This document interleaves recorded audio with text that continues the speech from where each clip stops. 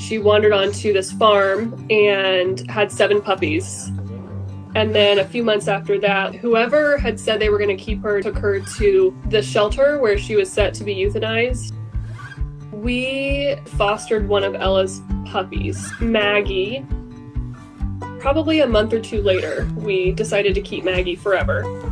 What do you got? It didn't seem right that all of her puppies were in these amazing homes. I was like, we can help. She's a sweet mama. She was very terrified.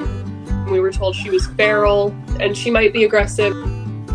We kind of agreed that she just needed to decompress for the night.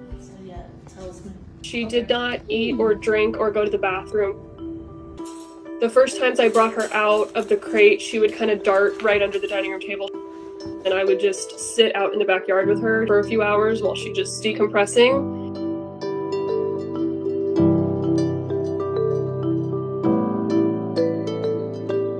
I kept our two dogs, her puppy and our dog Max, separated from Ella. Is that your mother?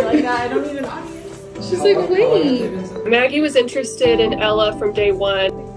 Maggie would lay outside of Ella's crate all day.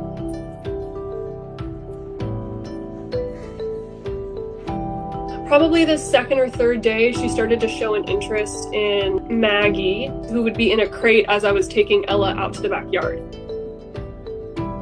And there was one time that I opened the crate and she kind of came out and put her face right up in my face. And that was a big deal because all the times before she had gone straight to hiding. I had been sitting in the backyard with her for three or four hours. She got up and she just walked right over to me and kind of put her head like on my side and just kind of like rubbed her head on me. And that was the first time she'd ever come up to me and wanted me to pet her. I'm sure I cried. We were in the backyard the following day. I was petting her and she kind of laid on her side and so I started petting her belly and then she rolled completely onto her back and let me pet her whole belly. That was a sign that she was getting more and more comfortable and that she trusted me. Look at you. I introduced our dogs to her on like day seven. I don't know that Ella was recognizing that it was her puppy, but she was excited that there was dogs that she could be with now. Ella girl. And I think that once she was able to be with us and the dogs all at the same time, she opened up even more than she already had. Hi, mamas. Hi.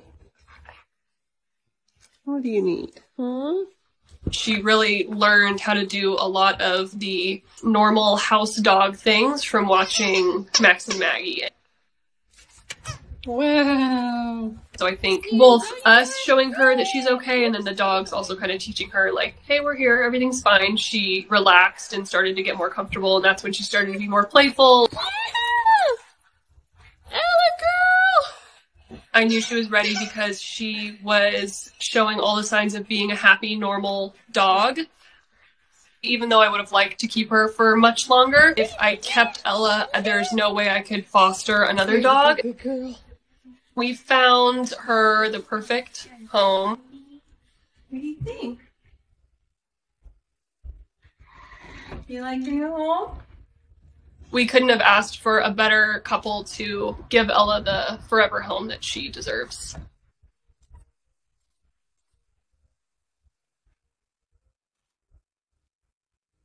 You like your new toy?